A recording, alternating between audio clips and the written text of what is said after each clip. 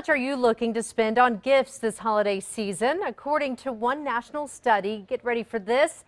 The average American adult is planning on shelling out $929 this year on presents.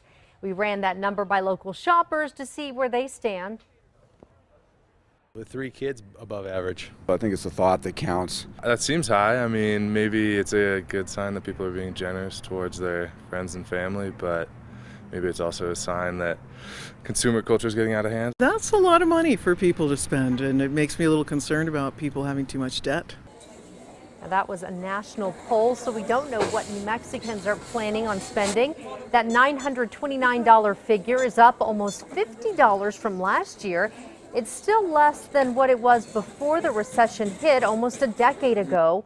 On a side note, then poll shows Americans who do a lot of their shopping on the internet spend the most with a holiday gift budget of more than $1,300. Wow.